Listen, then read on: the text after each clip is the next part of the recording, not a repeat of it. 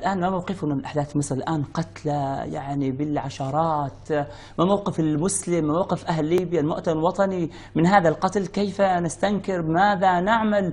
قتل يا شيخنا يعني شيء مخيف جدا حفظكم الله. لابد يعني لابد أن يكون للدولة موقف من هذا الأمر وأما المهادنة والسكوت فهذا غير جائز شرعا. لابد أن تدرس المسألة والحق هنا أصبح واضح وإن كان الناس للأسف أن كل من يتكلم على قضية مصر ويسميه انقلاب آه، يطلقون عليه فزاعة الإخوان وإلا فزاعة عميل قطر ولا من كلام هذا الفارغ اللي أصبح الآن آه، يعني متداول آه، هش ويعني ساذج جد جدا الناس كلها يعني انتبهت إلى المسألة عملية يفبركها بعض الناس أعداء الثورة وأنصار النظام السابق ومن يتعاطفون معهم.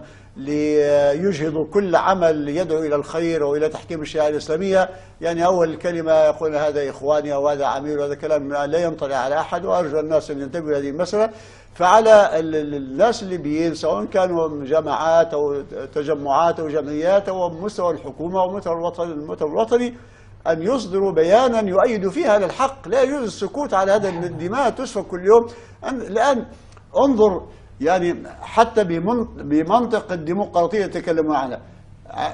الرجل كان منتخب وبشرعية وبصندوق اقتراع وما أعرف إيه في لحظة وجد نفسه من ال- ال- القصر الرئاسة إلى السجن ولا يعلم عنه أحد.